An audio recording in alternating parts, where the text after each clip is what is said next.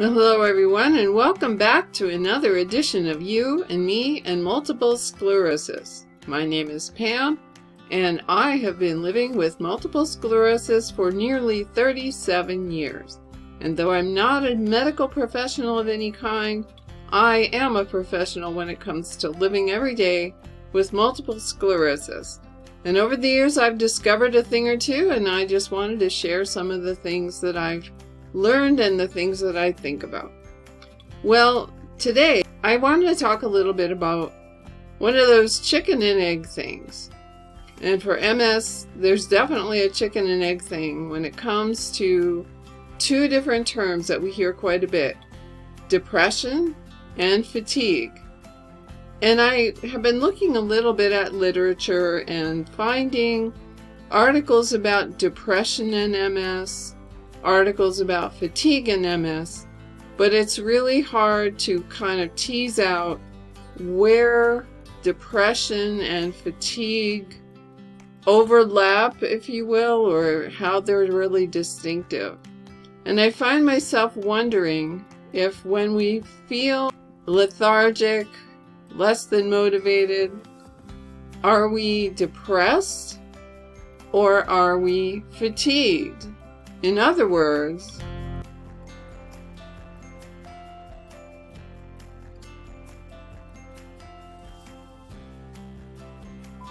Well, one thing that I did find was an article from the National MS Society, and I've got the link there, and I'll also include that in the description box below. But it describes the symptoms of what they call clinical depression. And I'm very familiar with this list, and you may be too, because there was a time there when every time you went to the doctor's office, they were giving you this list of symptoms to find out if you were depressed. But I went through this list to see whether there was much overlap with what you would call fatigue, right? The kinds of things you experience when you're fatigued. And so let's go on through here I highlighted in yellow all the things that I thought could just as easily describe fatigue. So shall we go through this? We'll see what we get. First one is sadness and or irritability. Well, I do think so. I think even without MS, if you're tired, you could be irritable, right? we all know that. People come home from work grouchy because they're tired. So, uh, yeah, definitely with MS fatigue, you're going to get that. And sadness, that's a tough one because I'm not really sure how you actually quantify that. But anyway, I highlighted that. I thought that went just as well with fatigue as depression. Here's another one that they say is part of clinical depression loss of interest or pleasure in everyday activities. Okay, well, once again, if you're fatigued, you, you lose your interest in doing pretty much anything, right? So I don't know, are you depressed or are you fatigued? I highlighted that one in yellow as well. And you'll be seeing a pattern here because this one is also in yellow, loss of appetite or increase in appetite. And I think for me with fatigue, I'm, yeah, part of being too um, unmotivated, shall we say, to care is that if I eat fine and if I don't, that's fine too. I guess not really that excited about meals or meal prep or even sitting down to some kind of nice meal that somebody else prepared for me. So I highlighted that one as well. And I highlighted this next one, sleep disturbances, either insomnia or excessive sleeping. Okay, I think that you could probably chime in on this one. You've had that experience. You're so fatigued you can't really get good sleep. Right? You may you may be in bed a lot, but are you actually sleeping? That's another thing. And if you are sleeping, are you getting good sleep? Fatigue does tend to rob our bodies of rest, which is really kind of bizarre because when you're fatigued it's almost like you're you're just I don't know your bones ache. That was kind of my thing. It's awfully hard to get comfortable and get good sleep. So the next one once again highlighted in yellow agitation or slowing in behavior. Now I don't know about agitation but does that go along with irritability? Maybe But slowing in behavior, sure. I mean, that's kind of a no brainer, right? When you're fatigued, your behavior slows down. You're not really doing things as quickly as you might normally be doing them. You're probably being more methodical. It takes more effort. So, yes. But then again, is this depression or is this fatigue? well, that's a no brainer, right? Yeah, fatigue is associated with depression. They have it right here for you just in case you didn't already have that figured out. And the next one is problems with thinking or concentration. Well, again, when I'm fatigued, I don't really concentrate very well. Sometimes when I'm fatigued, I don't even like to read because I don't connect ideas from paragraph to paragraph. I can't really engage with the text like I like to. So Again, I'm highlighting that in yellow because it could be depression, but it could just as well be fatigue. And then finally, we come to two other ones that I did not highlight in yellow. These are the two warning signs, and that's why I put them in red. They are definitely signs that you need to seek help and as soon as possible.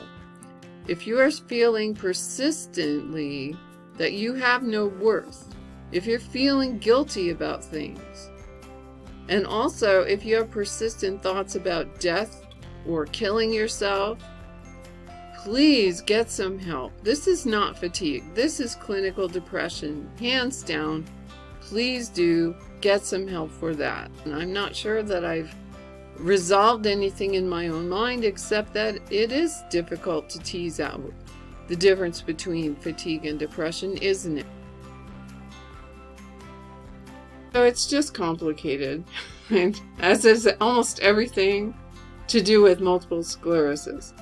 So I'm th just thinking more about this. Maybe multiple sclerosis is, is kind of like a magnifying glass for both depression and fatigue. A magnifying glass, I'm thinking of, you know, the old thing about, and I never did this. I, I have to be honest, I've never done this, but I heard that it was done by kids. They would take those magnifying glasses and kind of train the beam on the fly in the windowsill and set them on fire.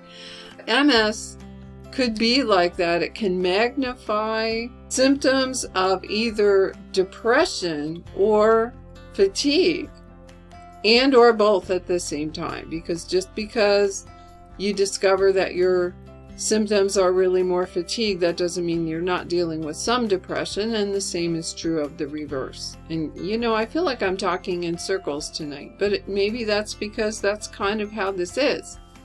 It is kind of circular. Fatigue depression depression fatigue. The depression of fatigue the fatigue of depression yeah, okay, so magnifying glass is one analogy, and maybe for the more modern life, people don't see magnifying glasses as often anymore, but laser pointers maybe is a good analogy for it.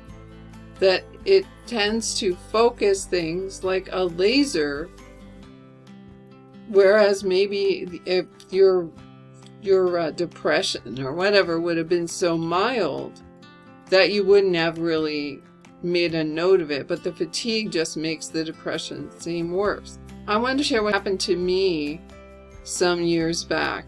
We had just moved from one side of the country to the other. And in doing so, we left behind the friends and the life that I had made over 25 years and we moved to the side of the country where all of our relatives were, our families, both my husband's and mine. We were going to come back and we were going to become more involved in our families' lives again. But the trouble was we didn't end up living very close to our families because they lived in parts of the country where it was just too expensive. We couldn't afford it. So we were, I don't know, two and a half hours from my mom and about four hours from my sister. So we didn't really see them on a regular basis. We had to build a life all over again, pretty much from scratch because we didn't really know anybody.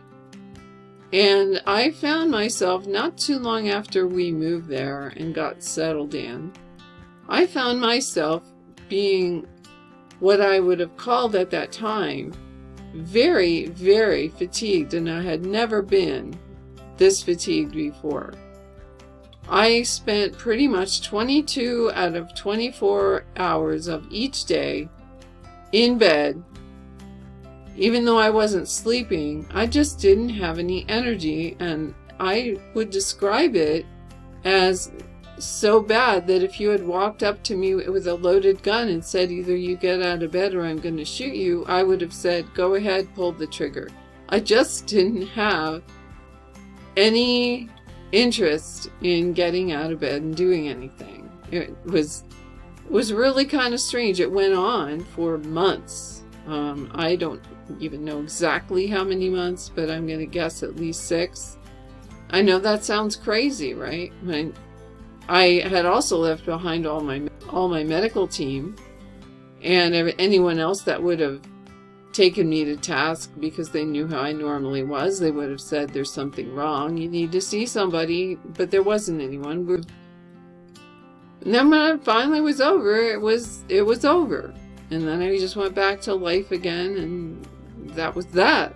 But as I look back on it now, that was probably a blending of both fatigue and depression, right? I was depressed. It would make sense. I had left behind my friends, my church, my what had been my job up until fairly recently. And I didn't really have anything much to replace it with because I was just in a town I didn't know anybody. It took a while to build back some kind of a life. And actually, what was the lifeline for me was a church that we started going to, and also the MS support group that I started going to. And that, both of those just kind of got me more integrated with people again, and then I pulled out of it. And things got back to some kind of a footing where I could feel like, all right, I'm kind of myself again. And so, yeah, that was fatigue, but it was also depression. Now that I look at it, I would say it was a blend of both. And so what I guess I'm trying to get at is that it is complicated to tease out the distinction between depression and fatigue. But we're not the professionals. Maybe we aren't the ones who should be trying to diagnose that. But if you're not feeling like your normal self, and with MS, obviously, that's kind of a That's kind of a strange thing to even say, because what's normal? But if you're seeing this trend that goes on for some period of time that's just really unusual for you, talk to somebody about it and see somebody, get some help on that because something's not right. You can, whether it's fatigue or depression, something's not right. And you need to get somebody to pay attention and help you through it. So that's it. Not very profound, I know.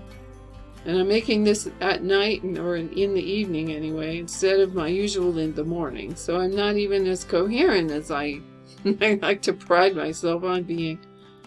It's just something I've been thinking about, and as I said, I've been trying to research it. Haven't really found good information about that intersection between depression and fatigue. And I will keep looking. If I find anything else, I'll put it in the description box down below.